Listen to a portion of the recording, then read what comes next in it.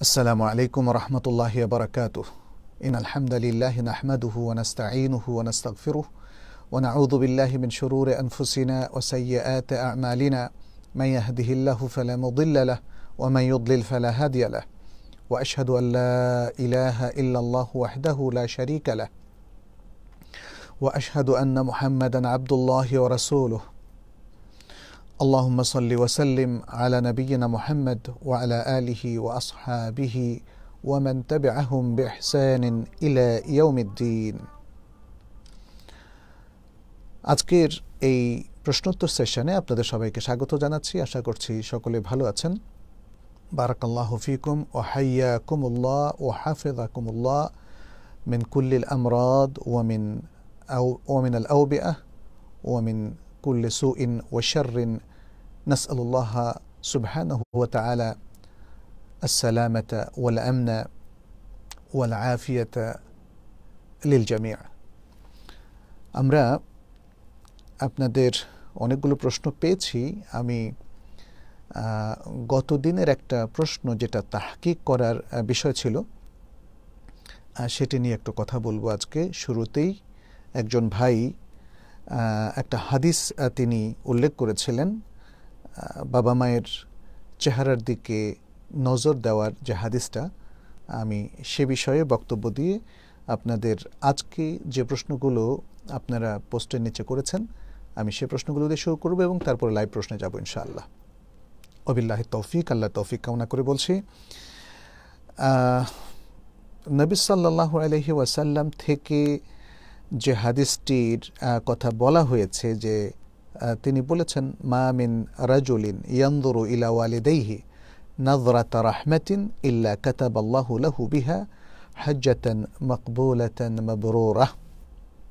যে কোনো ব্যক্তি তার বাবা মায়ের চেহারার দিকে করুণার দৃষ্টি বা ভালোবাসার দৃষ্টি প্রদান করে, তাকেই আল্লাহ তালা সেই দৃষ্টির বিনিময়ে একটা মকবুল গ্রহণযোগ্য হজের সওয়াব লিখে দেন। আর আরেকটা বর্ণনা এসেছে, মা মিন ওয়ালাদিন বার রিন ইয়ান্দুরু ইলা ওয়ালিদাই হিনাদরাত রাহমাতিন যে কোনো বাধ্যগত সন্তান যে তার বাবা মায়ের দিকে রহমতের দৃষ্টি দেয়, ইল্লা কাতাবাল্লাহু লাহু বেকুল নদরাতিন হাজাত মাবরুরা আল্লাহ তালা তার প্রত্যেক দৃষ্টির বিনিময়ে তার জন্য একটা মকবুল হজের সওয়াব লিখে দেন। কালু, তারা জিজ্ঞেস করলেন ওয়াইন্নাদারা কুল্লা ইয়াউমিন মেয়াতামাররা প্রতিদিন যদি একশো বারো তার দিকে দৃষ্টি দেয়। কালা নারাম তিনি বললেন, হা, আল্লাহ আকবর ও আতুয়াব। এই দুটো হাদিসের আসলে কোনো আদৌ বিশুদ্ধতা আছে কি না বা বাবা মায়ের? চেহারার দিকে দৃষ্টি দেওয়া কি ইবাদত? তাহলে কি সেটা সত্যিই এক হজ বা এক মাকবুল হজের সওয়াব পাবে?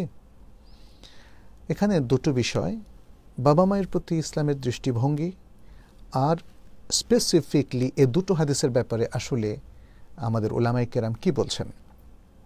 প্রথম হচ্ছে আল্লাহ তালা তার বান্দাদের মধ্যে, যাদের সাথে সবচেয়ে উত্তম আচরণ করা উচিত, তাদের মধ্যেই বাবা মাকে নির্ধারণ করে দিয়েছেন। আল্লাহ এবং তার রাসুল দুজনেই। আল কোরআনের মধ্যে আমরা বারবার দেখি, ওয়াবিল ওয়ালিদাইন এহসানা কত জায়গা যে এসেছে। ওয়াবিল ওয়ালিদাইনে এহসানা ওয়াকাদা রব্বুকা আল্লাহ তাবুদু ইল্লা ইয়া ওয়াবিল ওয়ালিদাইন এহসানা তোমার রব নির্দেশ দিয়েছেন যেন তাঁকে ছাড়া আর কারও ইবাদত করা না হয় এবং বাবা মায়ের সাথে যেন সুন্দর আচরণ করা হয়। এছাড়া বলা হয়েছে, আনিশকুর লি ওয়ালে ওয়ালিদাইক। শকর গুজার হও আমার জন্য এবং তোমার বাবা মায়ের প্রতি অতএব বাবা মায়ের প্রতি সুন্দর আচরণ এটা কোরআনের নির্দেশ এবং সোরা আল ইসরার মধ্যে তো আরও স্পষ্ট করে বলা হয়েছে فلا تقل لهما اف ولا تنهرهما وقل لهما قولا كريما واخفض لهما جناح الذل من الرحمه যে তাদেরকে কখনো উফ শব্দটি বলো না এবং ফালা তাকুল্লাহমা উফে ওয়ালা তানহার হুমা তাদেরকে ধমক দিও না। অকুল্লাহমা কৌলান করিম এবং সুন্দর কথা তাদের সাথে বলো এবং তাদের জন্য রহমতের পাখনা বিছিয়ে দাও। তাদের প্রতি রহমত, ভালোবাসা, মমতা, শ্রদ্ধার দৃষ্টি দেওয়ার কথা বলা হয়েছে। এবং হাদিস তো অসংখ্য। আল আদাবুল মফরাদের মধ্যে ইমাম বখারি এই বর্রুল ওয়ালেদাইনুর পর অনেক হাদিস নিয়ে এসেছেন। সুহান আল্লাহ এছাড়া আরও অনেক বিশুদ্ধ হাদিসও রয়েছে। সেদিকে আমরা আর যাব না। তাহলে ইসলাম বাবা মায়ের প্রতি সুন্দর আচরণের ক্ষেত্রে কোনো কার্পণ্য করেনি, বরং পৃথিবীর সবচেয়ে শ্রেষ্ঠ মানুষ হিসেবে তাদেরকে নির্ধারণ করেছেন, যারা আমাদের থেকে সবচেয়ে সুন্দর আচরণের অধিকার রাখে। এবং এক্ষেত্রে মা তিনটা অধিকার, বাবার একটা অধিকার, যেটা আমরা আবহরাদি আল্লাহ হাদিস থেকে জানি। এখন কথা হচ্ছে এই যে দুটো হাদিসের কথা আমরা বললাম এই দুটো হাদিস কি আসলে হাদিস? এগুলো কি সাব্যস্ত হয়েছে? এক্ষেত্রে আমরা বলব যে বাবা মায়ের এত মর্যাদা, তাদের প্রতি এত ভালোবাসা পোষণের নির্দেশ দেওয়ার পরেও তাদের চেহারার দিকে তাকানো ইবাদত, এটা ইসলামী শরিয়াতে সাব্যস্ত হয়নি। তাদের প্রতি মায়ামতা ভালোবাসা প্রদর্শন, তাদের সেবা শুশ্রূষা, তাদের খোরপোশ দেওয়া, এগুলো হচ্ছে শরিয়াতের নির্দেশ। কিন্তু তাদের চেহারার দিকে শুধু তাকিয়ে থাকলেই সওয়াব হবে, ইবাদত হবে, এমন কোনো জিনিস সাব্যস্ত হয়নি। তাহলে যে দুটো হাদিস আমরা পেলাম, এ দুটো হাদিসের ব্যাপারে ওলামা কেরাম কি বলছেন? প্রথম যে হাদিসটা আমরা বললাম, মা মিন রাজুলিন ইয়ানদুরু ইলা ওয়ালিদাইহি নাদরাতা রাহমাতিন ইল্লা কাতাবাল্লাহু লাহু বিহা হাজ্জাতান মাকবুলাতান মাবরুরা। এটি ইমাম বাইহাকি তার সোয়াবুল ইমানের মধ্যে বর্ণনা করেছেন। ইবনু আব্বাস থেকে এই বর্ণনাটা এসেছে। তবে ওলামাই কেরাম তাদের গবেষণা প্রসূত বলেছেন, এটা হাদিস মুনকার। এই হাদিসটা প্রত্যাখ্যাত হাদিস, অগ্রহণযোগ্য। এটা হাদিসই নয়, কারণ এটা হচ্ছে নাহসাল বিন সাঈদ নামক এক ব্যক্তির বর্ণনা। যে ব্যক্তি কথায় কথায় মিথ্যা কথা বলতো, আবু দাউদ আত্তায়ালিসি, ইসহাক ইবনা রাহওয়াইহের মতো বিখ্যাত বিশ্বস্ত মহাদ্দিসিনাকারাম বলেছেন, হুয়া মাউসুফুন বিল কেদিব তাকে মিথ্যার দায়ে অভিযুক্ত করা হয় এবং তার এই কথাটিও আসলে অগ্রহণযোগ্য। আর দ্বিতীয় যে হাদিসটা এখানে বলা হয়েছে মামিন ওয়ালাদিন বারিন ইয়ান্দুরু ইলা ওয়ালিদাইহি নাদরাতান, নাদরাতা রাহমাতিন ইল্লা কাতাব আল্লাহ লাহু বেকুল্লি নাদরাতান হাজ্জাতান মাবরুরা এই হাদিসটা মাউদু। এই হাদিসটা মাউদু মানে জাল, মিথ্যা হাদিস। এবং এটা হচ্ছে মোহাম্মদ বিন হামিদ এর বর্ণনা, অথবা মোহাম্মদ বিন হুমায়দ, যাই হোক সেই ব্যক্তি ছিল মোত্তাহামুন বিল ক্যাদিব তাকে মানুষ মিথ্যা কথা বলার তোহমাদ দিত এবং ইসহাক বিন মনসুর বলেছেন, আশহাদু বাইনা ইয়াদাইল্লাহ আমি আল্লাহর সামনে সাক্ষ্য দিচ্ছি, আন্নাহু কাদ্দাব তিনি চরম মিথ্যাবাদী।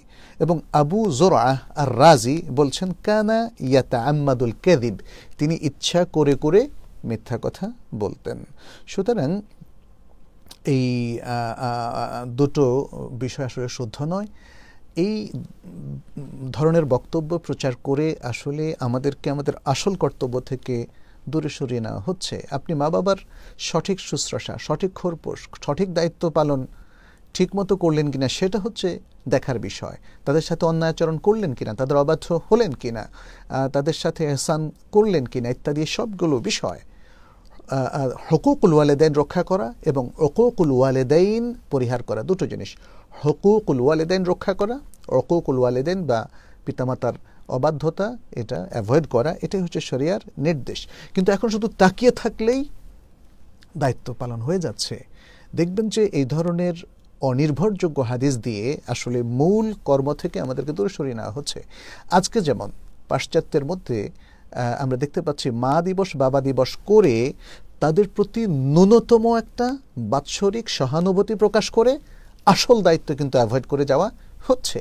আর এই জন্য ইসলাম এই মা দিবস, বাবা দিবসকে সমর্থন করে না, কারণ ইসলাম প্রতিদিনই মা দিবস, প্রতিদিনই বাবা দিবসে বিশ্বাস করে। অর্থাৎ আসলে দিবস তো নয় মা বাবার দায়িত্ব প্রতিদিন পালন করা, তাদের খোঁজ খবর নেওয়া। ইসলামের সেই হচ্ছে দৃষ্টিভঙ্গি।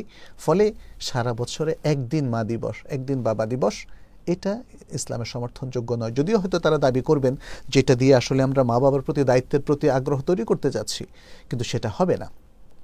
আপনার কালচার তো ধ্বংস হয়ে গেছে। আপনি মাকে, বাবাকে চেনেন না, প্রতিদিন তার কোনো খোঁজ খবর নেই, মাসের পর মাস। জানেনও নাকি সেই কালচারে এসে তাদের প্রতি দায়িত্ব আপনি তৈরি করবেন না। দায়িত্ব আসলে ইসলামিক কালচারই সবচেয়ে চমৎকারভাবে দিয়েছে। অতএব মা বাবার দায়িত্ব সঠিকভাবে বুঝতে হলে আমাদেরকে কোরআন সন্ন্যার অথেন্টিক বক্তব্যগুলো জানতে হবে এবং বুঝতে হবে। ধন্যবাদ যে ভাই এই প্রশ্নটা করেছেন, হয়তো তার কাছেও খটকা লেগেছে সেই তিনি প্রশ্নটা তুলেছেন যে আসলে ব্যাপারটা কি? আপনাদের সবার কি সেজন্য আমি ধন্যবাদ জানাই এরপর আমি প্রশ্নে যেতে যাচ্ছি আল মাসুদ ইকবাল বলেছেন Is it possible for you then, do you mind to create an episode and discuss comparative discussion about all the madhabs, especially the differences between uh, little things like how to tie hands while pray, saying Amin, Raful Yadain, Vitr Salah, etc. So we can learn because no Imams are talking about that here. Uh, uh, uh, different masajid follows things different, different way, and we just follow them while visit. ভাই মাসুদ উনি আসলে বলেছেন যে এটা আমাদের পক্ষে সম্ভব কিনা যে আমরা একটা এপিসোডে তুলনামূলক বিভিন্ন বিষয় নিয়ে বিশেষ করে বিভিন্ন মাধাবের বিষয়গুলো নিয়ে আলোচনা করব বিশেষ করে যে সমস্ত ক্ষেত্রে অনেকগুলো পার্থক্য আমরা বিভিন্ন মাধাবে ফিকহি মাধাবে দেখতে পাচ্ছি। রফুল ইয়েদাইনের ব্যাপারে, আমিন জোরে বল, আসতে বলার ব্যাপারে, কিংবা ভেতর সালাতের ব্যাপারে। কারণ তিনি বলছেন যে, অনেক ইমামরা এই বিষয়ে কথা বলেন না।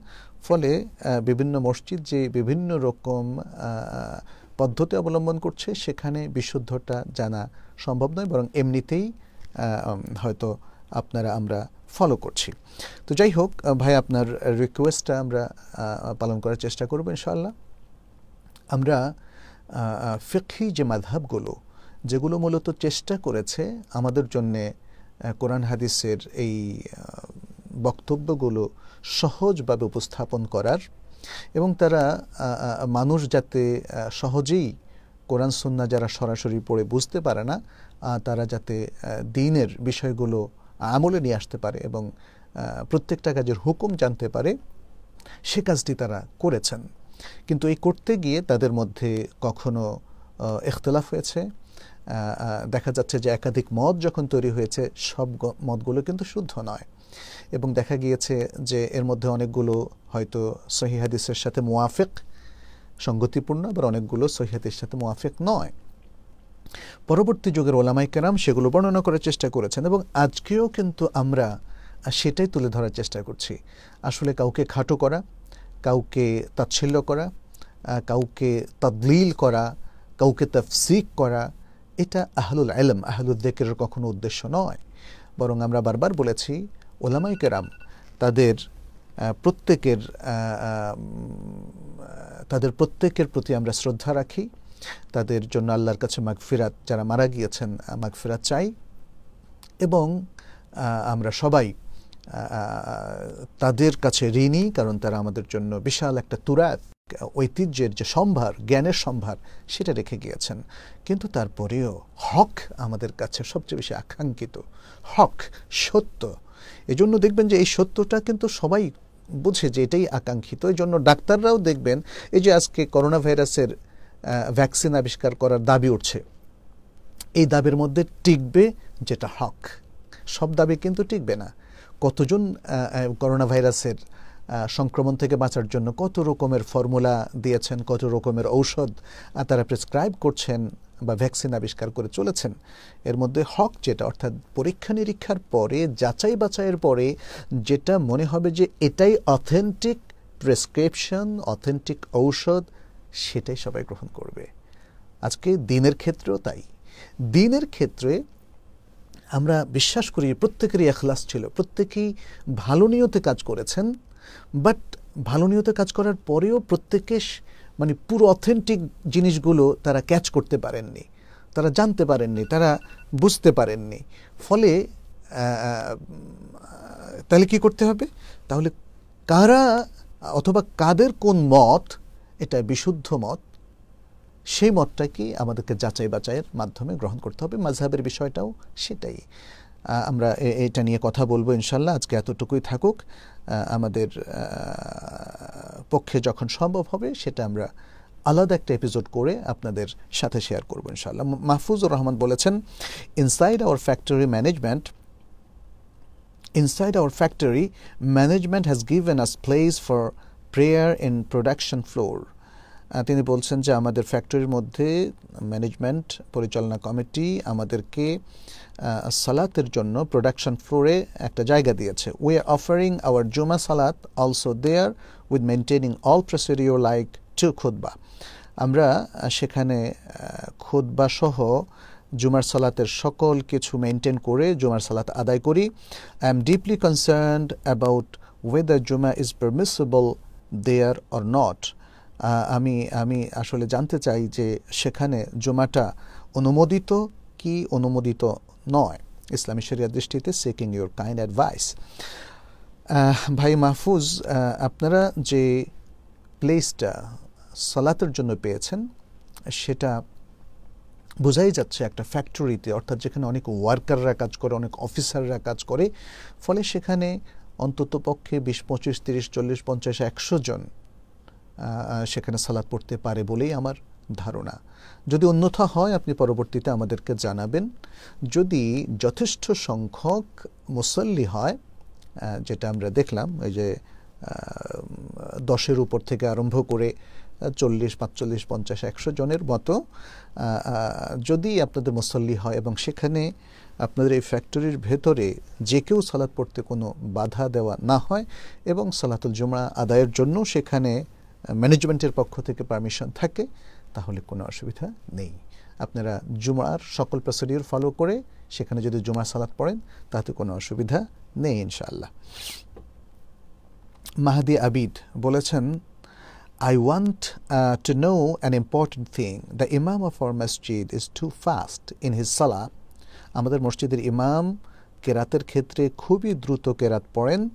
So I have to recite সোরা ফাতেহা really first in the third and fourth রাকা সুতরাং এই কারণে আমাকে ফরজ সালাতের তৃতীয় এবং চতুর্থ রাকাতে খুব দ্রুত সুরা ফাতেহা পড়তে হয় so that I can finish my সুরা ফাতেহা যাতে আমি সুরা ফাতেহা শেষ করতে পারি মানে দ্রুত পড়তে হয়। But sometimes I fail to finish my recitation ইমাম গোজ টু দ্য রুকু কখনো কখনো আমি সুরা ফাতেহা পড়া শেষ করতে পারি না এবং ইমাম রুকুতে চলে যান। So I also follow him আমি তাকে ফলো করি। Will my Salah be valid in this case that I could not finish সুরা ফাতেহা? তাহলে আমার সালাহ কি ঠিক হচ্ছে কিনা? কারণ আমি সুরা ফাতেহা শেষ করতে পারিনি। আপনার সালাহ ঠিক হচ্ছে ভাই? কারণ আপনি আপনার সাধ্যমতো চেষ্টা করেছেন। অতএব সুরা ফাতেহা এক্ষেত্রে কেউ যদি ভুলে যান পড়তে, যে কোনো কারণেই হোক খুশু খুদু কিছুটা ব্যাহত হলো, তার সালাদ তো আর বাতিল হবে না। তিনি কিছুটা অন্যমনস্ক হলেন। সালাতের মধ্যে অনেক ব্যক্তিরই এটা হতে দেখা যায়। সেক্ষেত্রে ইমাম রুকুতে গেলে তাকে রুকুতে ফলো করতে হবে এবং আপনার যে মিস হয়ে গেল, আমাদের ওলামাই কেরাম যারা ইভেন বলেন যে সুরা ফাতেহা ইমামের পেছনেও পড়াটা রোকন, পড়তে হবে, তাদেরও মত হচ্ছে যদি কেউ ভুলে যান অথবা এরকম অন্যমনস্ক হওয়ার কোনো রিজনে তার পড়া হলো না বা কিছু পড়লেন, তাহলে তার সালাত হয়ে যাবে এবং সে রাকারটাও শুদ্ধ বলে গণ্য হবে। এটাই বিশুদ্ধ কথা, এটা শাইক বিন বাজ রাহেমাহুল্লাহ সহ আর অনেকেই বলেছেন। আর এখানে সুরা ফাতাহ ইমামের পেছনে পড়ার ব্যাপারে আরেকটা অভিমত হচ্ছে, ইমামের পেছনে কেরাত লাগবে না, এটা ইমাম আবু হানিফা রাহমাহুল্লাহ এবং তার অনুসারী ওলামাই কেরাম ফলো করেছেন। আর ওলামাই কেরামের মধ্যে একদল বলেন যে তারা মানে যদি যে সমস্ত সালাদগুলোতে জোরে কেরাত পড়া হয় সেখানে থাকেন, তাহলে জোরে কেরাতের ক্ষেত্রে ইমামেরটা শুনলে চলবে, পড়তে হবে না সুরা ফাতেহা আর অন্যগুলোতে পড়তে হবে। তবে আমরা সবসময় বলে এসেছি, আমাদের কাছে বিশুদ্ধ হাদিসের যে সম্ভার রয়েছে, সেই আলোকে সবচেয়ে শক্তিশালী মনে হয় সর্বাবস্থায় ইমামের পেছনে সুরা ফাতেহা পড়া। অতএব আপনি পড়ার চেষ্টা করছেন, আলহামদুলিল্লাহ, এটা আপনার জন্য যথেষ্ট এবং আপনার সালাদ শুদ্ধ হবে ইনশাল্লাহ ক্ষণিকের মুসাফির, সবাই তো আমরা ক্ষণিকেরই মুসাফির। আল্লাহ আমাদের হায়াত যতদিন রেখেছেন যেন তার ইবাদতের মধ্যে, হসন ইবাদতের মধ্যে আমরা যেন ব্যয় করতে পারি, আল্লাহ আমাদেরকে সে তৌফিক দান করুন। বলেছেন যে, বিস্তারিত জানালে উপকৃত হই, এতেকাফ শব্দের অর্থ কি, এতেকাফ করতে হয় কতদিন, এতেকাফের বিধান ও ফজলত কি? এতেকাফ শব্দটা অকুফ থেকে এসেছে, আকাফা ইয়া কেফু মানে মাকাফা ইয়াম কুথু অবস্থান করা। অবস্থান গ্রহণ করা। ওয়ান্তুম আকিফুনা ফিল মাসাজিদ, আল্লাহ তালা সুরা আল বাকারার একশো সাতাশি নম্বর আয়তে বলেছেন, আর তোমরা যখন এতেকাফরত থাকো মসজিদে অথবা মসজিদে এতেকাফের উদ্দেশ্যে অবস্থান করে থাকো, তাহলে এতেকাফ মানে হচ্ছে অবস্থান করা। আর শরীয়তের পরিভাষায় মসজিদে ইবাদতের উদ্দেশ্যে অবস্থান গ্রহণ করা, এটা হচ্ছে এতেকাফ। এটা হলো শরীয়তের পরিভাষা এতেকাফ করতে হয় কতদিন? এতেকাফের সুন্না সময় হচ্ছে বিশেষ করে রমাদানে সেটি হচ্ছে শেষ দশক, পুরোটাই। সেটা এখন নয় দিন হোক আর দশ দিন হোক, কারণ শেষ দশক যদি রমাদান উনত্রিশ দিনের হয় তাহলে নয় দিন হয়। আর যদি রমাদান ত্রিশা হয় যেমন এবছর হচ্ছে, তাহলে সেটা হলো দশ দিন। তাহলে দশ দিন কাফ করা, এটা সুন্না যেহেতু রাসুল্লাহ সাল্লাহ সাল্লাম তিনি জীবনের শেষ কয়েক বছর শেষ দশক এতেকাফ করেছেন, যখন তাকে বলা হলো তুমি যা খুঁজছো, সেটা রমাদানের শেষ দশকে রয়েছে, অর্থাৎ লাইলাতুল কাদর।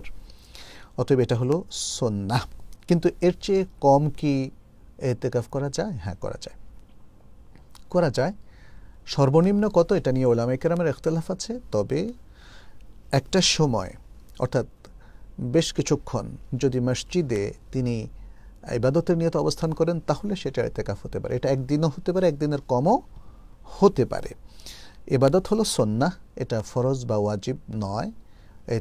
যারা এতেকাফ হচ্ছে সুন্না যদি কেউ এভাবে এতেকাফ করেন, তাহলে তিনি একটা ফজিলতের কাজ করলেন। যদি কেউ না করলেন, তাহলে তার কোনো পাপ হবে না। তবে এটা বড় ফজিলতের কাজ।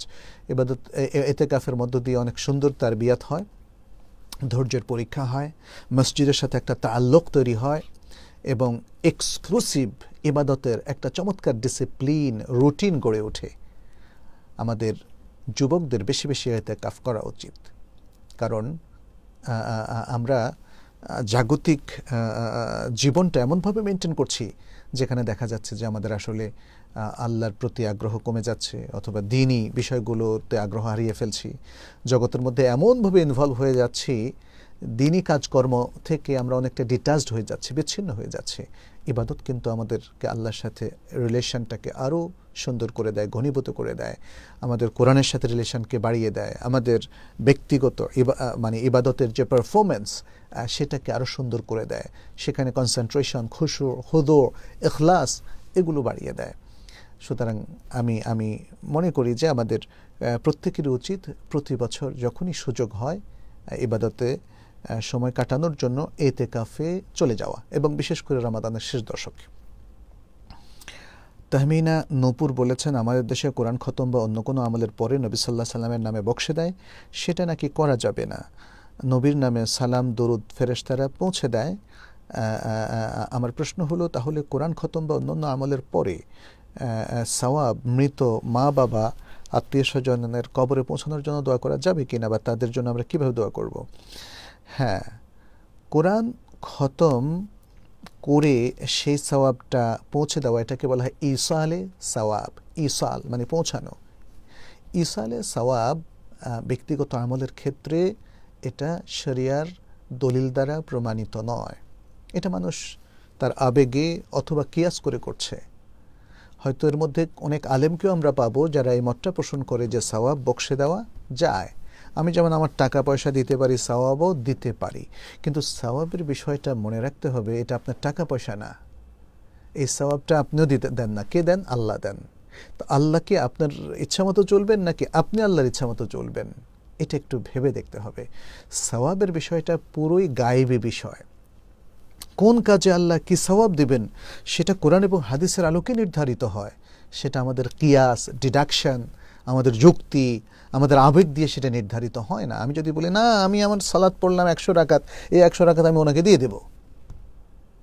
আপনি মুখে দিতে পারেন বাট এটা যদি আল্লাহর সিস্টেমে না থাকে, তাহলে আপনি দিতে পারবেন না। সেই জন্য আমরা বলব যে ইসালে তাওয়াবের ব্যাপারে আসলে এভাবে কোনো দলিল নেই যে ব্যক্তিগত আমলের ক্ষেত্রে, যেমন আমি সালাদ পড়লাম, আমি সিয়াম রাখলাম, আমি কোরআন পড়লাম, আমার যে সবাবগুলো অর্জিত হলো, সেটা আমি আরেকজনকে বক্সে দিলাম, এর পক্ষে কোনো দলিল নেই। তবে সাদাকা, একজনের পক্ষ থেকে সাদাকা করার দলিল আছে। আপনি যদি আপনার মা বাবার পক্ষ থেকে তারা জীবিত হন আর মৃত হন, তাদের পক্ষ থেকে সাদাকা করেন, তাহলে তাদের সবাবটা তারা পাবেন, এই সাদাকার বিনিময়টা তারা পাবেন। আর আপনি এই যে একটা সুন্দর কাজ করলেন, তার বিনিময়টা আপনি পাবেন। ইসলামে আসলে এরকম সিস্টেম প্রচুর আছে। আমরা যখন একজন রোজাদার ব্যক্তিকে ইফতার করাই তখন তার স্বভাবে কিন্তু ঘাটতি হয় না। সে তার পুরো স্বভাব পায়। কিন্তু শুধুমাত্র ইফতার করার কারণে আমি কিন্তু তার সমপরিমাণ স্বভাব লাভ করি। এভাবে কেউ যদি কোনো ভালো আমল চালু করে দেন, তাহলে সে আমল যারা করতে থাকবে, তাদের সমপরিমাণ স্বভাব যিনি চালু করে দেন, তিনি পেতে থাকবেন। কিন্তু ওদের স্বভাবে কোনো ঘাটতি হবে না। ঠিক তেমনি কেউ যদি কোনো পাপের কাজ চালু করে দেন তাহলে যারা এই পাপটা করতে থাকবে, যেমন সিনেমা হল, যেমন ব্রোথল, যেমন মদের বার, যেমন এরকম অশ্লীল এবং পাপের যে পুরীগুলো, সেগুলো যারা চালু করে দেন, তাহলে যতজন সেখানে পাপ করবে যিনি চালু করেছেন, তার জন্য সে সমপরিমাণ পাপ থাকবে, কিন্তু ওদের পাপের বোঝা তাদেরই থাকবে, ইনার উপর কিছু চাপানো হবে না সেখান থেকে কমানোর জন্য। তো সুতরাং আমরা ইসলামের মধ্যে এই এই নীতি থেকে বুঝতে পারলাম যে আপনি যখন শরিয়া সিদ্ধ কোনো কাজ করবেন, সাদাকা বাবা মায়ের পক্ষ থেকে বা অন্যের পক্ষ থেকে দেবেন, তাতে আপনারও সব থাকবে, কিন্তু সাদাকার মূল সবটা চলে যাবে তাদের কাছে। অতএব মানে সওয়াব পৌঁছানোর কিছু পদ্ধতি শরিয়াতে জায়জ আছে। এর মধ্যে আরেকটা হচ্ছে দোয়া, সাদাকা জারিয়ার পাশাপাশি আরেকটা হলো দোয়া, সৎ ব্যক্তিদের দোয়া। মৃত লোকদের জন্য অথবা জীবিত অন্যান্য লোকদের জন্য এটা কবুল হওয়ার অধিক উপযুক্ত সৎ ব্যক্তির দোয়া। এই জন্য রাসুল সাল্লাহ সাল্লাম নেক সন্তানের দোয়া বলছেন মা বাবা, মৃত মা বাবার জন্য নেক সন্তানের দোয়া। তাহলে এই জিনিসগুলো যাবে। তারপরে আপনি যদি তাদের নামে কোনো ওয়াকফ চালু করেন, তাদের নামে যদি কোনো মুসহাফ কোনো হেফজোখানায় দেন যাতে বাচ্চারা পড়তে পারে, এই ব্যাপারে আমি আপনাদেরকে উদ্বুদ্ধ করছি। এবং দেশে, বিদেশে আমাদের যে সমস্ত ভাইরা আছেন, আমেরিকাতে, ইউরোপে কিংবা বাংলাদেশে, বিভিন্ন জায়গায়, আপনারা কি জানেন যে হেফজোখানায় প্রচুর স্টুডেন্টরা তারা মুসাফ কিনতে পারে না? আপনারা মুসাফ দেন তাদেরকে। আমাকে ব্যক্তিগতভাবে অনেকেই চেয়েছেন যে আমাদের মাদ্রাসা চল্লিশটা দরকার, পঞ্চাশটা দরকার, একশোটা দরকার হ্যাঁ? তো তাহলে আপনারা এটা প্রোভাইড করতে পারেন সুহান আল্লাহ পৃথিবীর সবচেয়ে শ্রেষ্ঠ গ্রন্থ হচ্ছে আল কোরআন। আল কোরআন চেয়ে শ্রেষ্ঠ গ্রন্থ কি? সেটা হাফেজদেরকে দেবেন, তারা প্রতিদিন কতবার পড়বে, ঘণ্টার উপর ঘণ্টা তারা পড়ে। এভাবে ইসলামের বইগুলো বিতরণ করতে পারেন হ্যাঁ? কারও পক্ষ থেকে, ওই যে সাদাকা হিসাবে, এগুলো সব সাদাকার মধ্যে যাবে। আর যেই যে যেমন সালাদ পড়ে সেটার স্বভাব বকসানো কোরআন পড়ে সেটা স্বভাব বকসানো সিয়াম রেখে সেটা স্বভাব বকসানো এগুলো করা যাবে না। কিংবা কিছু ওজিফা পাঠ করে, লা ইলাহিল্লান সুবাহানাকা, এটা এক লক্ষ বার পাঠ করে, কিংবা যে দুরুদে হাজারি, দুরুদে নারী হ্যাঁ মানে অগ্নির দুরুদ, পাথরের দুরুদ, এরকম বিভিন্ন দুরুদ টুরুদ আছে বলে কেন যে নাম দিয়েছে আল্লাহ ভালো জানেন। তো যাই হোক, এই দুরুদগুলো পড়ে আপনি সওয়াব বকসানো এটা এগুলো তো বেদাতি আমল। সুতরাং ওইভাবে বকসানো যাবে না। আপনি ভালো কোনো আমল করার পরে, যেমন সালাদ পড়ার পরে দোয়া করবেন, দোয়া কবুলের জন্য উপযুক্ত মা বাবার জন্য দোয়া করবেন। কোরআন একটা খুব ভালো আমল করলেন। কোরআন পড়ে কোরআনের সওয়াব বকসাবেন না। আপনি আল্লাহর কাছে একটু হাত তুলবেন নিজে, একাকি এবং আল্লাহর কাছে দোয়া করবেন, আল্লাহ, আমার মা বাবাকে তুমি ক্ষমা করো, তাদেরকে জান্নাতুল ফেরদাউস তুমি নসিব করো। এভাবে দোয়া করতে পারবেন। আশফিন আজিজ বলেছেন, একজন বলে বেড়াচ্ছে যে শেখ জাকারিয়া, শেখ হামিদ মাদানি প্রমুখ তারা আল্লাহ সম্পর্কে দেহবাদী আকিদায় বিশ্বাসী। এর বিরুদ্ধে আলী হাসান ওসামার বক্তব্য পেশ করে থাকে। দেহবাদী আসলে কেউ নেই। ডক্টর আবু বকর জাকারিয়া আমার মতে বাংলাদেশের সেরা একজন আলেমের মানে অন্যতম একজন আলেম। যিনি মদিনা ইউনিভার্সিটিতে আকিদার উপরে বিশ্বের প্রখ্যাত সব শায়কদের কাছে তিনি পড়েছেন, পড়াশোনা করেছেন যাদের কাছে আমিও পড়েছি। এখন স্কুল অফ থট ভিন্ন হয়ে গেছে। দেখবেন যে যে যে পরিবেশে গড়ে ওঠে, সে সেভাবেই তৈরি হয়। যে দরগায় তৈরি হয়, সে দরগার চিন্তাভাবনা রাখে। যে মাজারে তৈরি হয়, মাজারে বেড়ে উঠে তার তারবিয়াত পায়, সে সেভাবে তৈরি করে। তৈরি হয়। যে মোতাজিলাদের কাছে, আকলানিদের কাছে, যে কোরআন সুন্নার বক্তব্য নয়, আকলের বক্তব্যটাই হচ্ছে প্রধান, সে সেভাবে তৈরি হয়। যে আল্লাহ তাল্লার সিফাতগুলোকে তাবিল করার শিক্ষা পেয়েছে, তার মুরব্বীদের কাছ থেকে, তার ওস্তাদদের কাছ থেকে। তারা তাবিল করবে। মানে কোরআন সন্ন্যার সঠিক যে শিক্ষাটা, সেটা আমরা মদিনা ইউনিভার্সিটির প্রখ্যাত সব শায়কদের কাছে পেয়েছি। এবং দেখেছি যে তারা আসমা এবং সিফাতের ক্ষেত্রে পৃথিবীর শ্রেষ্ঠতম মৌকেফ তারা গ্রহণ করেছেন। এবং সবচেয়ে বিশুদ্ধতম। যে মৌকেফটা আমাদের সকল ইমামের ছিল, সকল সাহাবার ছিল, এবং ইমাম ইবনু তাইমিয়ার ছিল, ইবনু কাতিরের ছিল, ইবনুল কাইয়েমের ছিল, ইমাম বোখারের ছিল, ইমাম মুসলিমের ছিল, ইমাম আবু হানিফা রাহমাহুল্লার ছিল, ইমাম মালিকের ছিল, ইমাম শাহফের ছিল, ইমাম আহমদ ইবন হাম্বলের ছিল। এভাবে লক্ষ লক্ষ ওলামাইকার ছিল। আল্লাহর কোনো আসমা এবং সিফাতকে তাবিল করা যাবে না। তার যে অর্থ তার হাকিকি অর্থ থেকে অন্যদিকে যাবে না। এবং এই হাকিকি অর্থ যারা করেন এই ধরনের বিভ্রান্ত লোকেরা তাদেরকে নাম দিয়েছে দেহবাদী। ইন্না লিল্লাহি ওয়া ইন্না ইলাইহি রাজিউন। হাদা তুহমাতুন আযীমা ওয়া তুহমাতু কাযিব ওয়াফতিরাউন কাযিব। লা শাক। এটা একটা মিথ্যা তোহমা, এটা একটা মিথ্যা দাবি। আমাদের ওলামাই কেরামের আহলুসুন্নাল জামা কেউ দেহবাদী ছিলেন না। কেউ দেহবাদী ছিলেন না। আল্লাহর ইয়াদ হাকিকি, এটা আপনি আপনার নিজের দেহের সাথে তুলনা করছেন কেন? তুলনা করছে বিভ্রান্ত লোকেরা। ডক্টর জাকারিয়া, আমি আমার দেখা আলিমুল আমাদের মধ্যে আকিদার ব্যাপারে অত্যন্ত প্রাজ্ঞ এবং বিশেষজ্ঞ হিসাবে তাকে জানি এবং তিনি বিশেষ করে আসমা এবং সিফাতের মধ্যে হক উপর রয়েছেন। সঠিক মৌকিফের উপর রয়েছেন। অতএব তাকে দেহবাদী বলা এটা কখনোই সঠিক নয়। এদেরকে বলা হয় মুজাসিমা মুজাসিমা যারা আল্লাহর জন্য দেহ সাব্যস্ত করেন, মানুষের দেহের মতো অথবা আল্লাহ কোনো সৃষ্টির মতো। কিন্তু আমাদের শাইখরা এবং ডক্টর জাকারিয়াও আমি জানি যে তিনি এই মতের প্রবক্তা, সেটি হচ্ছে তিনি বলেছেন, ওই যে সে আয়াতটা যেটা কোরআনে আছে, লেইসা কামিতলিহি শাইউন ওহুসামি উল আলিম ওহুসামি উল বাসির। লেইসা কামিতলিহি শাইউন ওহুসামি উল বাসির তার মতো কোনো কিছু নেই সুবহান আল্লাহ আমাদের প্রত্যেক শাইখকে doctor Khalifa Tamimi doctor Saleh Osaimi doctor Abdullah al Ghunaiman Sheikh Abdur Rahman আল হুদাইফি তিনিও তাওহিদ পড়াতেন আমাদেরকে এবং ডক্টর আব্দুল আজিজ আশেবেল এরকম আরও অনেক শাইকদের কাছে আমরা পড়েছি Sheikh Saleh Al Fawzan doctor Muhammad সালিবিন Sheikh Saleh Muhammad সালিবিন ওয়াইমিন Sheikh বিন বাজ, রাহমাহুল্লাহ, এদের প্রত্যেকেরই একই আকিদা কিন্তু।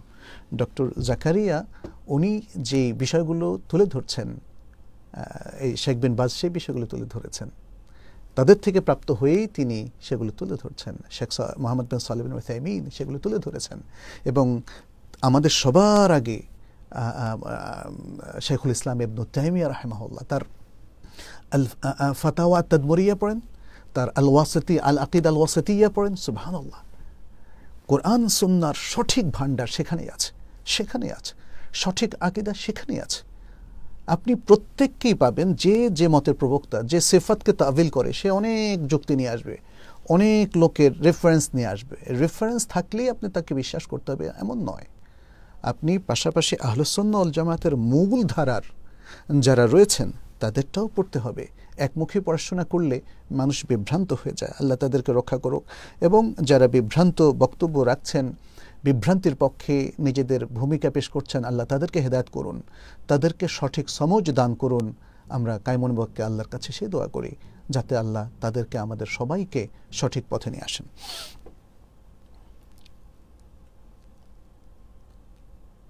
এস কে সারা বলেছেন, আমি একজন কনভার্টেড মুসলিম তাই মনে অনেক প্রশ্ন আসে, যতটুকু শুনেছি। যারা জান্নাতি হবে, তারা পর্যায়ক্রমে একসময় আল্লাহর দিদার লাভ করবে।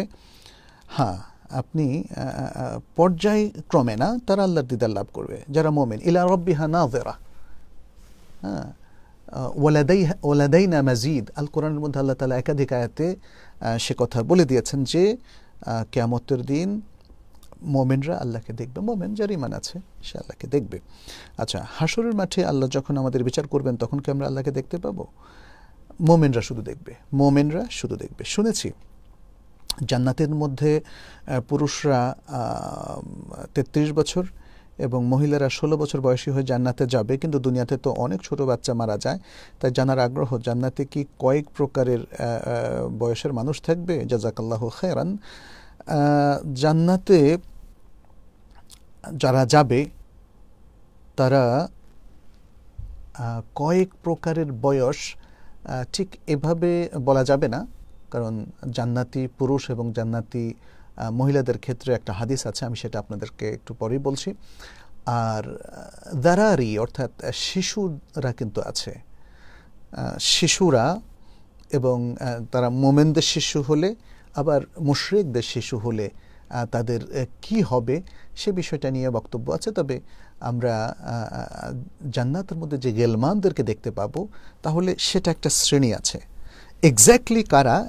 ওলামাই কেরাম এই সমস্ত নজগুলোর কিছু ইখতলাফি, ইখতলাফ সহ তারা মতামত বর্ণনা করেছেন। আমি সেই ডিটেলসে আর যাব না।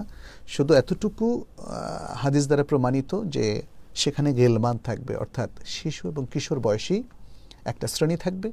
আর দ্বিতীয়ত হচ্ছে যারা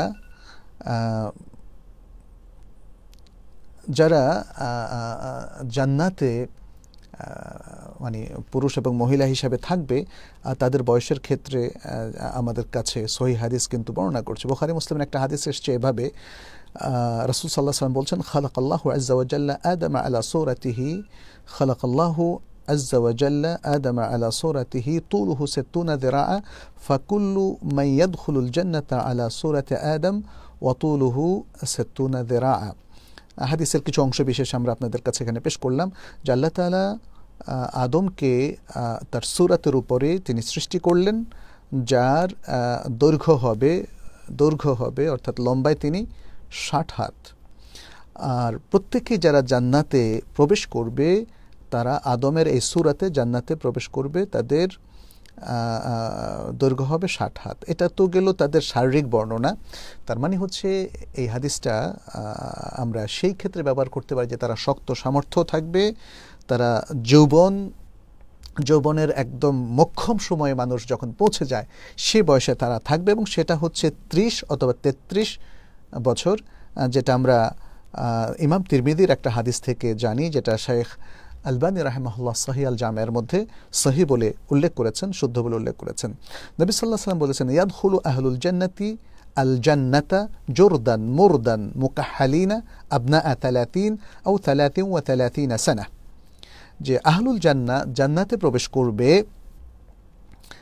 তাদের শরীরে কোনো লোম থাকবে না তারপরে কোনো দাড়ি মোচ ইত্যাদি থাকবে না এবং সুরমা লাগানো থাকবে, অর্থাৎ খুব সুন্দর। চোখটা হবে সুন্দর, শরীরের মানে একদম আমরা যেটা দেখি যে কিশোর বয়সে তাকে দেখতে যতটা সুন্দর লাগে এবং শক্তিমান লাগে সেরকম তবে তার বয়স থাকবে আপনা স্যালাতিন ত্রিশ বছর ও স্যালাতিন ও স্যালাতিন সানা তেত্রিশ বছর।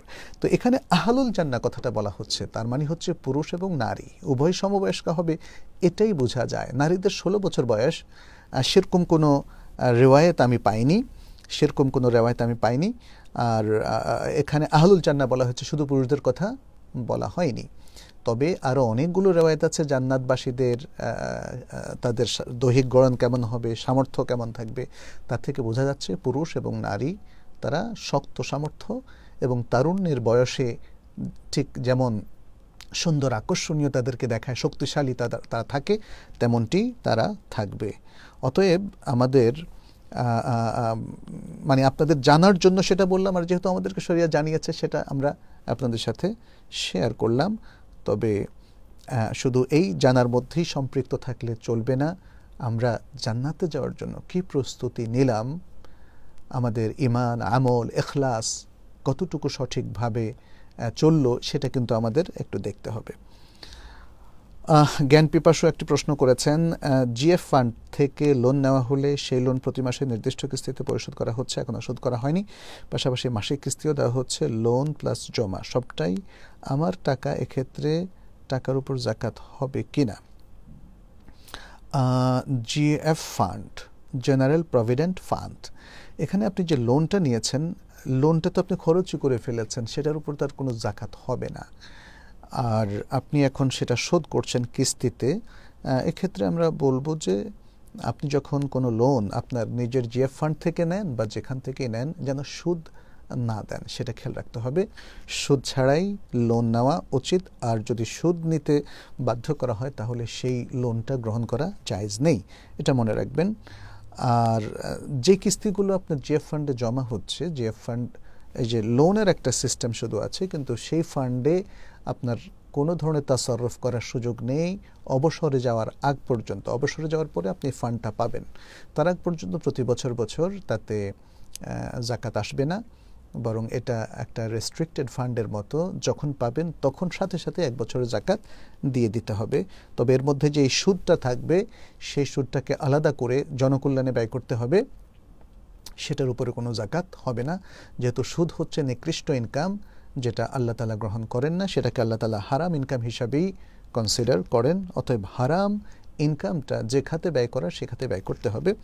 এক্ষেত্রে জাস্ট একটা কথা বলে নেই যে অনেকের মত হচ্ছে জিএফ ফান্ড মানে আমরা এই যে প্রভিডেন্ট ফান্ডে যে টাকাটা জমা করছে, তার সাথে যে সুদটা অ্যাড হচ্ছে, সেটা নেওয়া জায়েজ বলে অনেকে মনে করেন। তো সেই মনে করার ভিত্তিটা আমরা আজও খুঁজে পাইনি। এটা হয়তো একটা সময় ছিল যখন জিএফ ফান্ডটা এভাবে এখন ডিজিটালি মেনটেন করা যেভাবে হয় সেটা হতো না তখন সেটা ম্যানুয়ালি একসাথে কেটে নেওয়া হতো, চাকরির সময় দেওয়া হতো। মানুষ ভাবতে, ভাবতো যে এর সাথে অতিরিক্ত অ্যামাউন্টটা সেটা কর্তৃপক্ষ দিয়েছেন।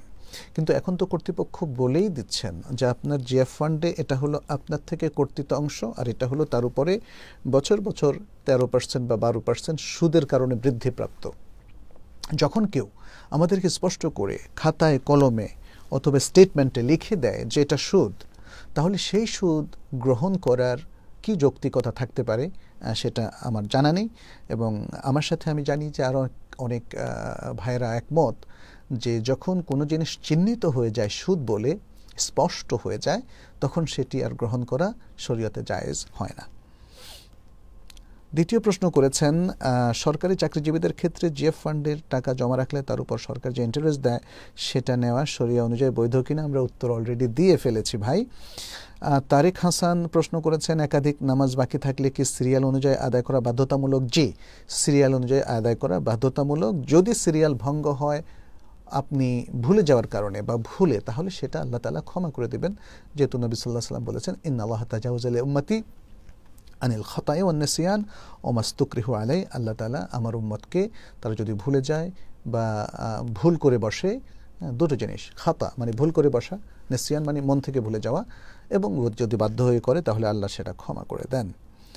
মোহাম্মদ আতিফ হাসান খান বলেছেন, ধুলাবালে নাক দিয়ে গিয়ে গলায় অস্বস্তি বোধ হলে এবং পরে তা ইচ্ছা করে গিলে ফেললে কি রোজা ভেঙে যাবে? যদি এগুলো আলাদা অস্তিত্ব তৈরি হয়, ধুলাবালি, নাক দিয়ে গেল, এবং আলাদা জিনিস হয়ে আপনার মুখে থাকল, তারপর আপনি গিললেন, তাহলে আপনার সিয়াম ভেঙে যাবে। আর যদি এগুলো হালকা পাতলা থাকে মানে আপনার আলাদা করার কোনো সুযোগ নেই, আপনার নাকের সাথে বা কফের সাথে মিশে গেল, আপনি গেলে ফেললেন, তাহলে আপনার সিয়াম ভাঙবে না ইনশাল্লাহ আবু তালহা বলেছেন, আমি জানি ওয়ালা এবং বারা এর মূলনীতি আকিদের অংশ। কিন্তু আমাদের তো প্রত্যহ জীবনে অমুসলিমদের সাথে বিশ্ববিদ্যালয় সমাজে কর্মক্ষেত্রে পরিচয় কিংবা খানিকটা বন্ধুত্বপূর্ণ সম্পর্ক থেকে যায় ক্ষেত্রে করণীয় কি? মানুষের সাথে সৌজন্যমূলক আচরণ বা ভদ্র আচরণ, এটা ওয়ালাবারার অংশ নয়। এটা হচ্ছে আমাদের ইসলাম যে আমাদেরকে সততা শেখায়, আমাদের আখলাক সুন্দর শেখায়, এটা তার পার্ট নবী সাল্লাহ সাল্লাম কোনো দিন কোনো কাফিরের সাথে কি খারাপ আচরণ করেছেন? যারা তাকে কষ্ট দিয়েছেন, যারা তাকে অপমান করেছেন, যারা তার উপরে উটের উচ্ছিষ্ট চাপিয়ে দিয়েছেন সালাতরত অবস্থায়, তিনি কি তাদেরকে একটা কটু কথাও বলেছেন, গালি দিয়েছেন? কিছু করেননি, বরং সুন্দর আচরণ করেছেন, ধৈর্য ধরেছেন। মনে কষ্টটা চেপে রেখেছেন, কখনো হয়তো আল্লাহর কাছে ফরিয়াদ করেছেন এবং তাদের জন্য কখনো কখনো ইসলামের চরম শত্রু হলে তাদের জন্য বদোয়াও করেছেন। কিন্তু তিনি আচরণে কিন্তু রূঢ় আচরণ করেননি, অভদ্র আচরণ করেননি, অশিষ্ট আচরণ করেননি। আপনি যেটা বলছেন, আপনি বিশ্ববিদ্যালয়ে পড়ছেন অথবা শিক্ষকতা করছেন, আপনাকে নানা ধর্মের লোকদের সাথে ইন্টারাক্ট করতে হয়, সেক্ষেত্রে আপনি অবশ্যই ভদ্রতার পরিচয় দেবেন। আপনি তো একজন ভদ্র মানুষ, আপনি একজন আলোকিত মানুষ। অভদ্র আচরণ তো শোভনীয় নয়। আমি যদি কোনো হিন্দুর সাথে, কোনো খ্রিস্টানের সাথে, কোনো বৌদ্ধের সাথে ভদ্র আচরণ করি সৌজন্যতা বোধ রক্ষা করি, সুন্দর কথা বলি, এটার মানে এই নয় যে মানে তার সাথে ওয়ালার সম্পর্ক হয়ে গেল।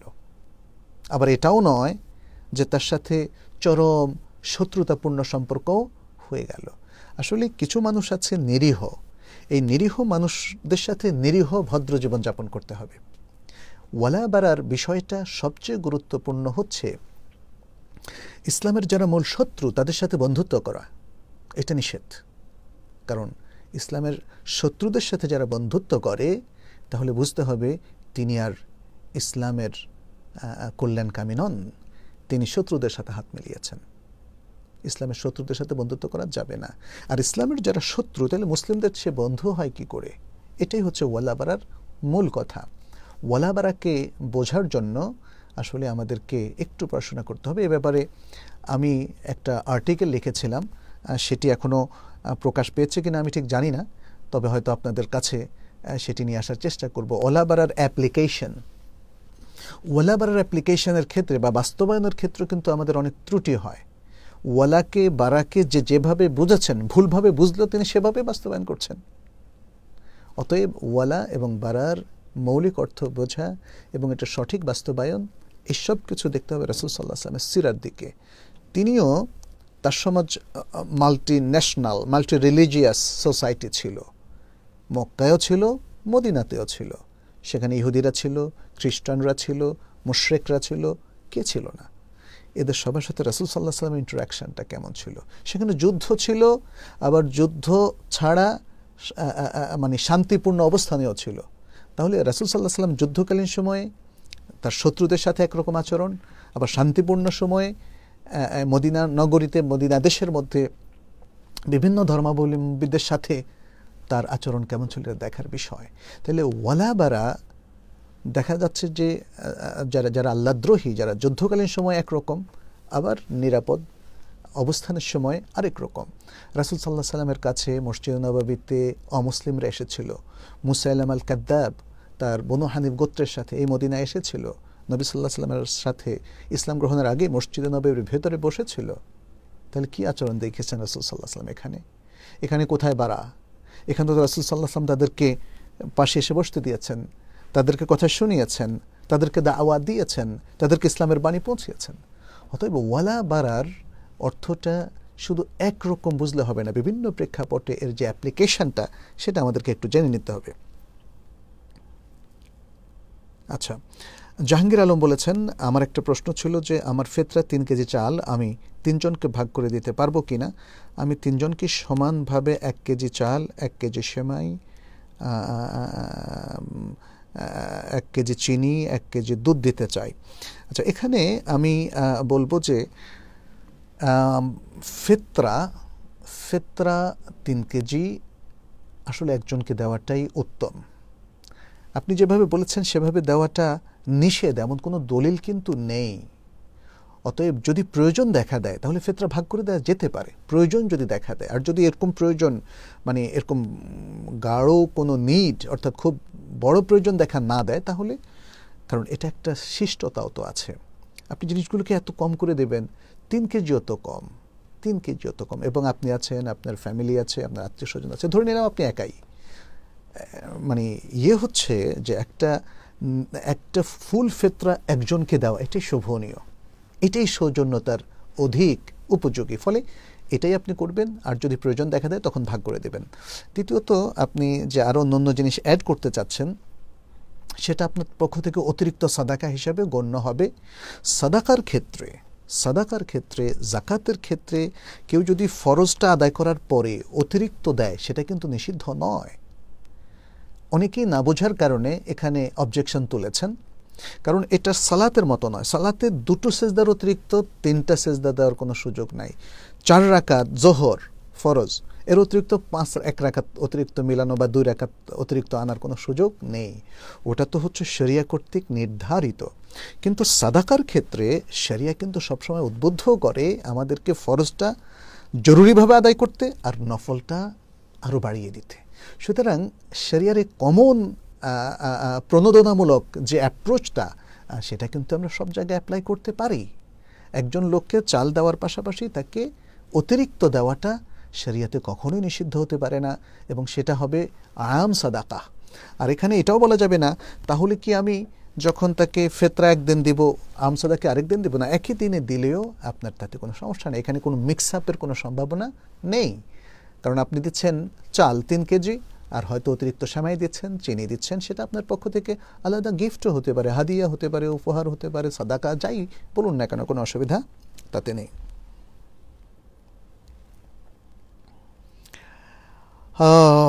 বারাকাল্লাহ ফিকুম। অনেক অনেকে ভালো ভালো দোয়া করেছেন, অনেকেই বলেছেন আল্লাহর জন্য ভালোবাসেন। বারাকাল্লাহ ফিকুম। ও আহাব্বাকুম উল্লাদি আহবাব তুমুনি ফি আবু তাহের বলেছেন মহিলাদের হায়েজের মাঝে এক বা দুই দিন হায়েজ সম্পূর্ণভাবে বন্ধ থেকে আবার চালু হয়ে এক বা দুই দিন চলে সমাপ্ত হলে উক্ত বিরতির সময় সিয়াম ও সালাত আদায় করা যাবে কি? যাবে। এটাই বিশুদ্ধ মত। কারও কারও মতে যাবে না। কারণ তারা বলছেন যে এটা একটা খুব ক্রিটিক্যাল হিসাব রাখতে হবে। সেটা হচ্ছে প্রত্যেক মাসে তার হিসাব মেনটেন করা এবং যদি এখন মাঝখানে তার আবার মানে কিছু বন্ধ হয়ে আবার চালু হয়। তাহলে আগের মাসের যদি ছয় দিন থাকে, এই মাসে ছয় দিন পূরণ করা এবং তিন মাস এভাবে সে আগের মাসের হিসাবগুলো রাখা। তারপরে যদি নতুন তার কোনো হাইজের অভ্যাস তৈরি হয়, তখন সেটাতে সুইচ করা। এই জটিল হিসাব কেউ কেউ বলেছেন। কিন্তু শেখ সালিবিন ওথাইমিন খুব সুন্দর বলেছেন, সেটা হচ্ছে যতদিন সে তার হাইজের রক্ত দেখবে, ততদিন সে সিয়াম বন্ধ রাখবে, সালাদ বন্ধ রাখবে, পরে সিয়াম কাজা করবে, সালাদ কাজা করবে না। আবার যখন ফ্রি হবে, চালু করবে, আবার যখন চালু হবে, আবার সে এই ইবাদতগুলো, এই দুটো ইবাদত বন্ধ রাখবে। তো এটাই সবচেয়ে সুন্দর। তারপরেও আমাদের বোনেরা তাদের বিষয়গুলো খেয়াল রাখবেন। তাদের হায়েজ এবং ইস্তেহাজার মধ্যে পার্থক্য করতে হবে। হায়েজ চালু হয়ে মানে খুব অধিকাংশ ক্ষেত্রে দেখা যায় যে সেটা আসলে দুই একদিন বন্ধ থাকে না। একটু হলেও সেটা চালুই থাকে। আবার দেখা যায় যে পাঁচ, ছয় দিন চালুর পরে আবার কারও এটা হতে পারে, এরকম বিভিন্ন রকম হতে পারে। সেক্ষেত্রে প্রথম কথা হচ্ছে যে আপনি যখনই দেখবেন তখন সালাত এবং সিয়াম বন্ধ, আবার পরিষ্কার হয়ে গেলে গোসল করে আপনি এগুলো চালু করে দেবেন। আবার যদি রক্ত চালু হয় তখন আবার সিয়াম বন্ধ হবে। এটাই হচ্ছে সবচেয়ে সহজ পদ্ধতি। কারণ জটিল হিসাবগুলো সাধারণত আমাদের মেয়েরা বোঝে না, সেটাও একটা ফেকি মত ফেকি মত। বাট এই মতটা আমাদের কাছে রাজ বলে গণ্য। আচ্ছা মাইনুল কবির বলেছেন, ঈদের সালাতের আগে আমি কি ইশরাক চাষতের সালাত পড়তে পারব? আমি শুনেছি ঈদের সালাতের আগে কোনো সালাত নেই। হ্যাঁ ঈদের সালাতের আগে কোনো সালাত নেই, এটি শুদ্ধ কথা। কারণ ঈদের সালাত তো আসলে রাসুল্লাহ সাল্লাহ সাল্লাম তিনি ভোরের পরে, সূর্য ওঠার পরে প্রথম কাজটা ছিল ঈদের সালাত পড়া। প্রথম কাজটা ছিল ঈদের সালাত পড়া। অতএব আমরাও সে কাজটাই করি এবং ঈদের সালাতের মানে ঈদগাহ যেহেতু মসজিদ না, অতএব ঈদগাহের মধ্যে আমরা কোনো সালাত পড়ব না। কিন্তু এখানে একটু ব্যতিক্রম হচ্ছে মসজিদ। যেহেতু মসজিদের ক্ষেত্রে রাসুল সাল্লাহ আলাইসাল্লামের আরেকটা হাদিস আছে সেই হাদিসটা হলো সে হাদিসটা হলো, যখন তোমাদের কেউ মসজিদে প্রবেশ করে, তাহলে সে যেন দুরাকাত না পড়ে, না বসে। তাহলে এটা হলো তাহিয়াতুল মসজিদ। এখন তো আজকাল অনেক বড় বড় মসজিদ হয়ে গেছে এবং বৃষ্টিজনিত কারণে বা নানা কারণে বা ঈদগাহের অপ্রতুলতার কারণে অনেকেই তারা বাধ্য হন মসজিদে ঈদের সালাদ পড়তে। যারা মসজিদে ঈদের সালাদ পড়তে আসেন, তারা মসজিদের দখুল মসজিদ পড়বেন, সেটা স্ট্রংলি রেকমেন্ডেড এই হাদিস দ্বারা। সুতরাং আমরা ঈদগাহে বলব যে কোনো সালাত নেই, ঈদগাহে এসে মানে বসার আগে আর কোনো সালাত নেই, আপনি কোনো সালাত পড়বেন না। আর ঈদগাহে যদি আপনি এই যে প্রথম টাইমে যেটা আমরা মক্কা মদিনায় পড়তাম, আলহামদুলিল্লাহ একদম মানে সূর্য ওঠার পরে, অল্প কিছুক্ষণ পরেই হয়তো আধা ঘণ্টার মধ্যেই সালাদ পড়ে ফেলা। কিন্তু বাংলাদেশে আমরা দেখতে পাচ্ছি ষাট ষাটটায় হয় না সাতটায় খুব কমই হয়, আটটা, সাড়ে আটটা, নয়টা, এই টাইমগুলোতে। তখন সূর্য উঠে যাচ্ছে দেখলাম যে ছয়টারও আগে। সূর্য যদি ছয়টার আগে উঠে যায়, তাহলে তো আপনার সাউথ এশরাক পড়তে কোনো অসুবিধা নেই। আপনি সাউথ এশরাক ঘরে পড়ে নেবেন, কারণ সেই আটটায় যদি হয় জামাত আটটায় যদি জামাত তাহলে এতক্ষণ আগে তো আর আপনি যাবেন না। সেক্ষেত্রে আমরা আমরা এখানে দুটো বিষয় বলব। এক, আমরা সুন্না অনুযায়ী সালাতুল ঈদকে যদি আরেকটু এগিয়ে নিয়ে আসি এবং সবাই যদি সালাতুল ঈদের প্রথম দিকে আমরা সালাতুল ঈদ পড়ে ফেলতে পারি, সেটা উত্তম সেটা উত্তম। তবে সালাতুল ঈদ পড়ার সময়টা প্রশস্ত সময়টা প্রশস্ত। সেটা সূর্য মাথার উপর ওঠার আগ পর্যন্ত পড়লেও সেটা হয়ে যাবে। সেটা হয়ে যাবে, জাওয়ালের আগ পর্যন্ত পড়লে হয়ে যাবে, এটাই বিশুদ্ধ কথা। কিন্তু এত দেরি করে পড়ব কেন? এত দেরি করে পড়ার তো কোনো মানে হয় না। যাদের হয়তো কোনো কারণে প্রবলেম ছিল, রোগীর শুশ্রূষা, ঘরের প্রবলেম বা বিভিন্ন জায়গায় প্রবলেম ছিল, তারা হয়তো দেরি করে পড়লেন, অন্যরা তাড়াতাড়ি করে পড়ে ফেলবেন। রিদি ইসলাম বলেছেন হাইজের তিন দিন পর হাইজ ক্লিয়ার হয়ে গেছে ভেবে সিয়াম রাখা শুরু করলে যদি একবারে হালকা এক ফোঁটা ব্লাড দেখা যায়, তাহলে সিয়াম ভেঙে যাবে। হ্যাঁ হ্যাঁ কারণ এক ফোঁটা হোক আর অল্পই হোক, যাই হোক, যখন রক্ত প্রবাহিত হতে থাকবে, বের হতে থাকবে, তখন তার হায়েজ শেষ হয়নি বলেই গণ্য হবে, অতএব সেক্ষেত্রে তার সিয়াম ভেঙে যাবে। আল আমিন বলেছেন মহিলাদের মেন্স হলে যে রোজা ভাঙতে হয়, ওই রোজা আগে রাখতে হবে নাকি ছয় রোজা?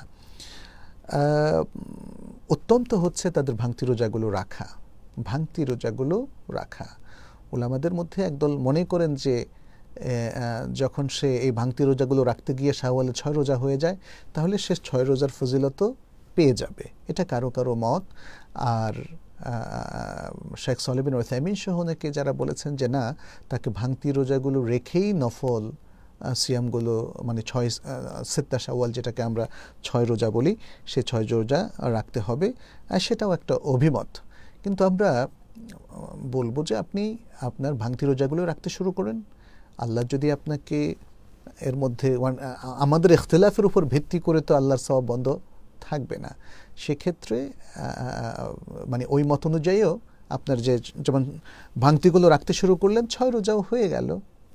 ছয় রোজাও হয়ে গেল এবং এখানে যে হাদিসটা আছে সেই হাদিসটার ব্যাখ্যা দুই পক্ষই নিতে পারে। সেটা হচ্ছে মানসামা রমাদানা তুম্মা আতবাহু সেত্তা মিন শাওয়াল কানা কাসুয়ামিদ যে ব্যক্তি রমাদানের সিয়ামগুলো পালন করল, তারপরে শাওয়ালে ছয় রোজা রাখল, সে সারা বছর সিয়ামের সবটা পেল। আচ্ছা তো এখানে রমাদানের সিয়ামগুলো রাখল। এর দ্বারা যারা বলেন যে আগে ভাঙতি রোজাগুলো রাখতে হবে, তারা বলেন যে রমজানের সব সিয়ামগুলো রাখল, এটাই বোঝা যায়।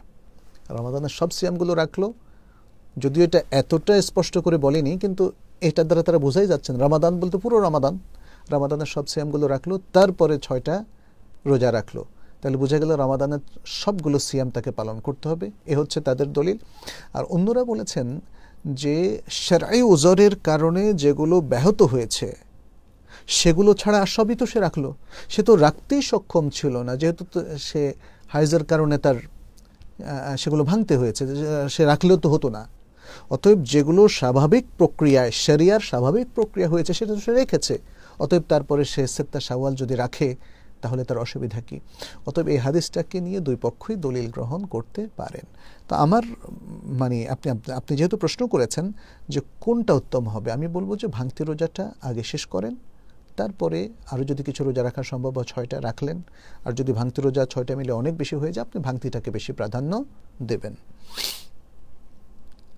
একসার ফেতরা কি দুজনের মাঝে ভাগ করে দেওয়া যাবে? এটা আমরা একটু আগে বলেছি, আমরা বলেছি প্রয়োজন যদি দেখা দেয় তাহলে ভাগ করে দিতে পারবেন, আর তা না হলে শোভনীয় হচ্ছে এক সার পরিমাণ একজনকেই দেওয়া।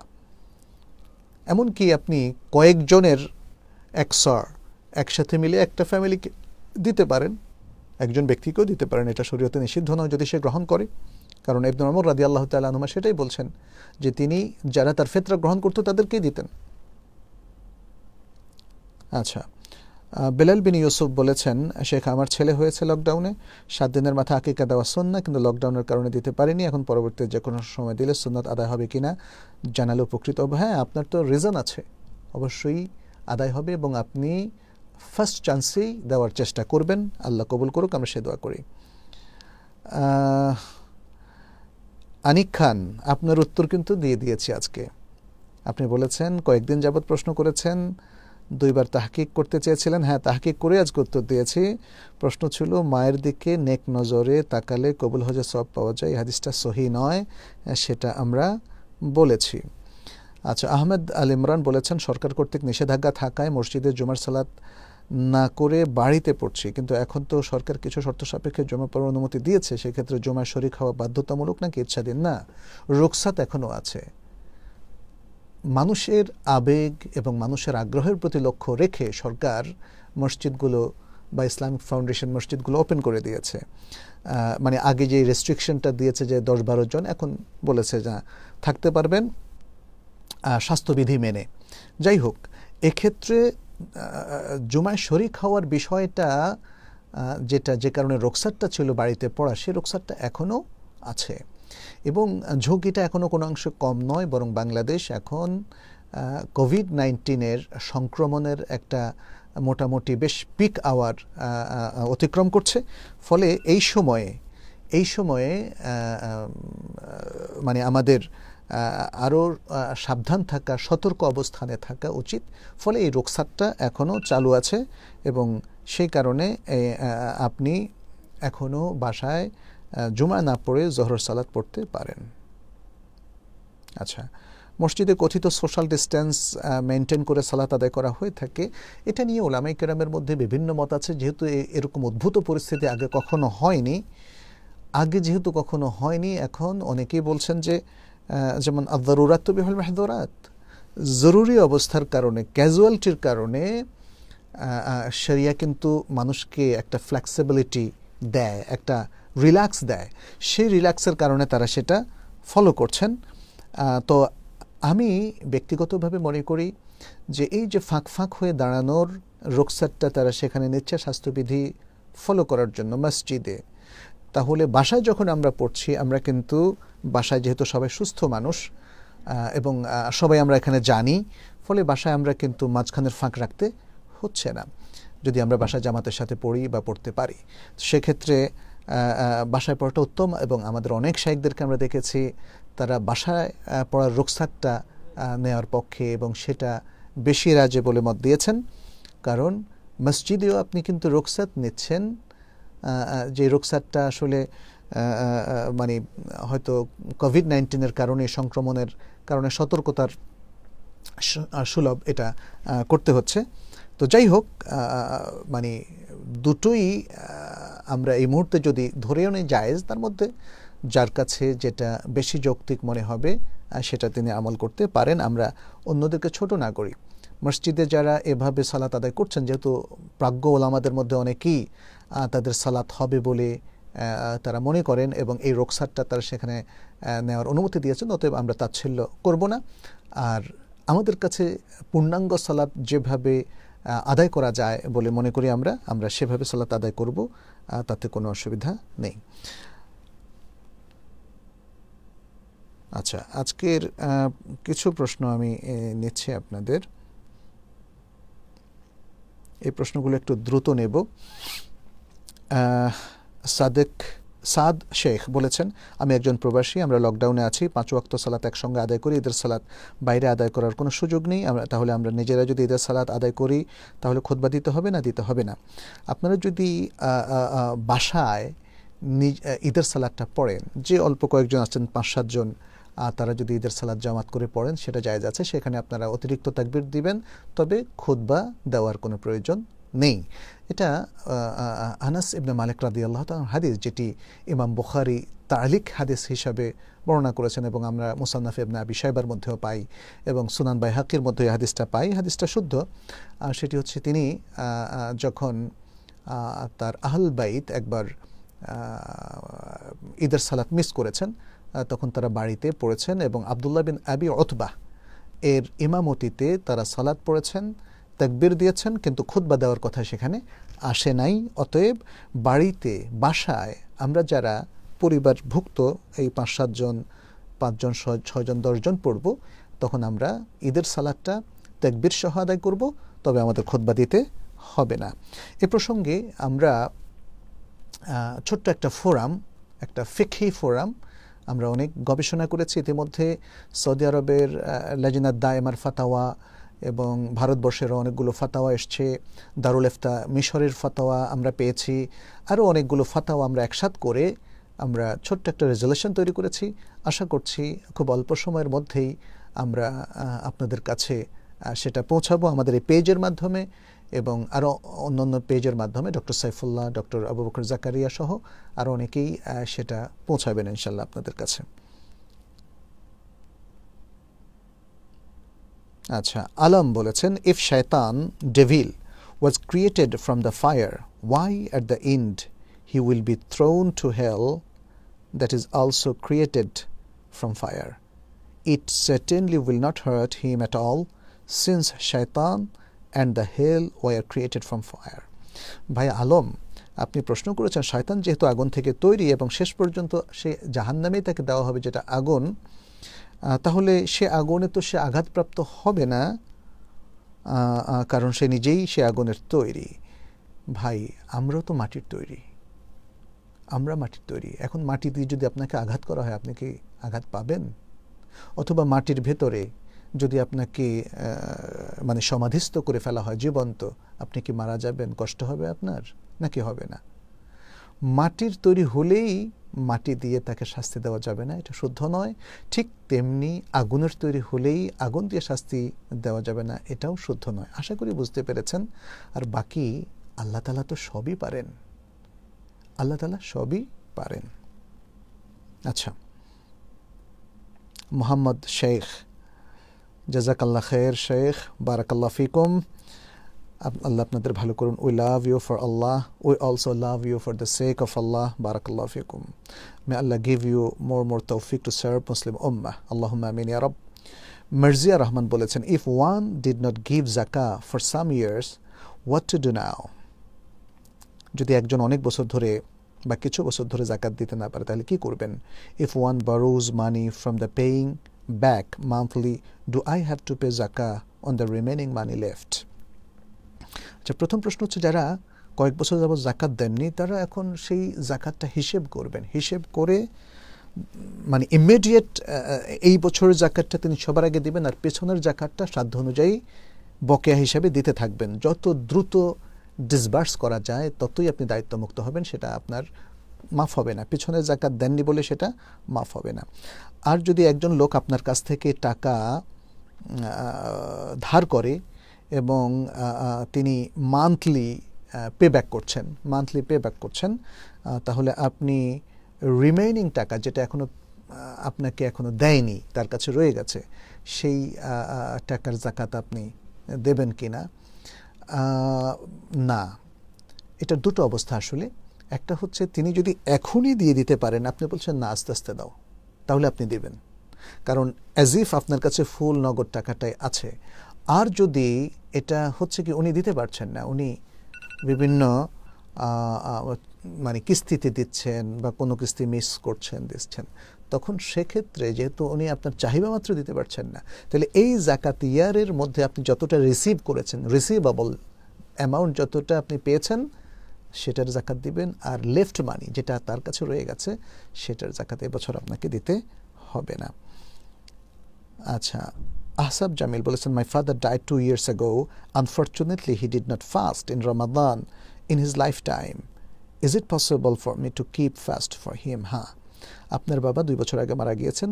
তিনি তার জীবনে কোনো দিন রামাদানের সিয়াম রাখেননি আপনি কি তার পক্ষ থেকে রাখতে পারেন কি না?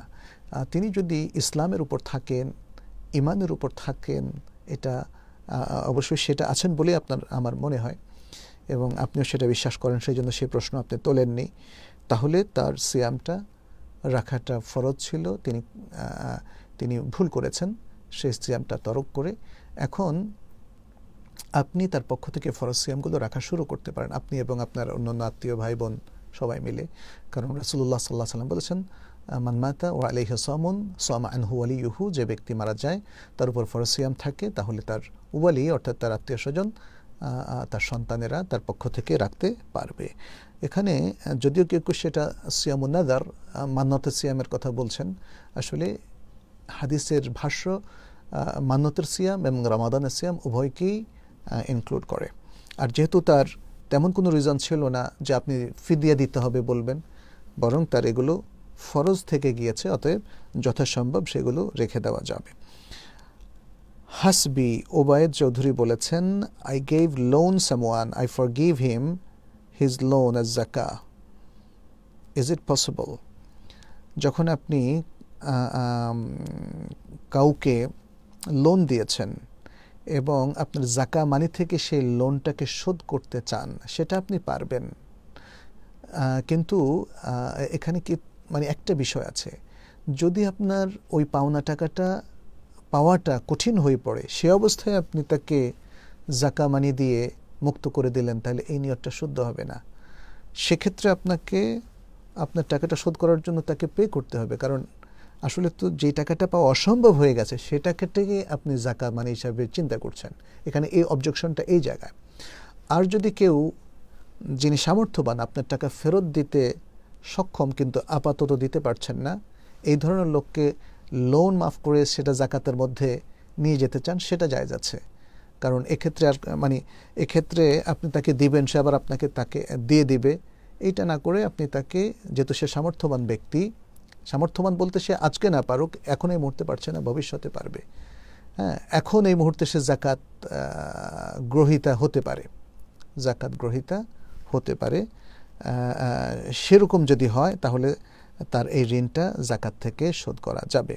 তবে সবচেয়ে উত্তম হচ্ছে, সবচেয়ে উত্তম হচ্ছে একজন ব্যক্তি আপনার ঋণ হোক আর অন্য ঋণ হোক, সে ঋণটা শোধ করার জন্য তাকেই টাকাটা দিয়ে দেওয়া, তারপরে সে সেই ঋণটা শোধ করতে পারবে। এই।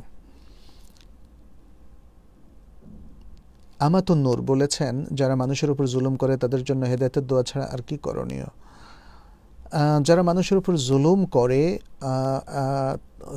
তারা যদি তাদের জুলুমের উপরে ইসরার করে, জেদ করে এবং তাদের জুলুম আরও বেড়ে যায় হ্যাঁ তখন তাদের একটা অবস্থা। আর যদি জুলুম করে, যারা বুঝতে পারে যে তারা ঠিক করেনি, তাদের মধ্যে কিছুটা অনুতপ্ত তৈরি হয়, তাহলে তাদেরকে ক্ষমাও করে দেওয়া যেতে পারে। হেদায়তের দোয়া করা যেতে পারে, তাদেরকে ক্ষমাও করে দেওয়া যেতে পারে। তবে যারা একদম মানে দুষ্ট টাইপের মানুষ। তারা জুলুমি করতে শেখে মানে মানুষের প্রতি ভালোবাসা, মমতা নেই। হ্যাঁ তাদেরকে মাফ করার করাটা শরিয়াত সেভাবে উদ্বুদ্ধ করে না। যেটা আমরা দেখি, রসুল সাল্লাহ সাল্লাম কিছু কিছু জাতির উপর লায়নাত করেছেন। কেন লায়নাত করেছেন? লায়নাত করেছেন, তারা অত্যন্ত দুরাচারী জাতি আল্লাদ্রোহী দুষ্ট, জালিম। ফলে তাদের জন্য লায়নাত করা যাবে।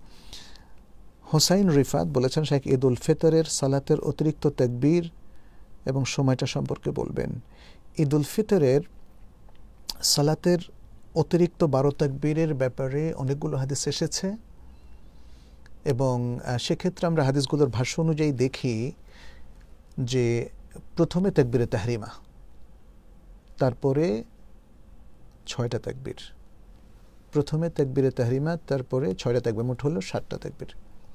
এরপরে দ্বিতীয় রাকাতে উঠার তাকবিরটা আছে, তারপরে পাঁচটা তাকবির। তাহলে উঠার তাকবিরটা সহকারে হিসেব করলে তেরোটা তাকবির হয়ে যাচ্ছে। আর যদি তাকবিরে তাহরিমা এবং উঠার তাকবিরটা বাদ দেয়, তাহলে মোট এগারোটা হয়ে যাচ্ছে। তো আপনি যেভাবেই হিসেব করেন না কেন, আমরা বলব যে তাকবিরে তাহরিমা, তারপরে ছয়টা এবং উঠার তাকবির, তারপরে পাঁচটা। এটাই সবচেয়ে প্রণিধানযোগ্য।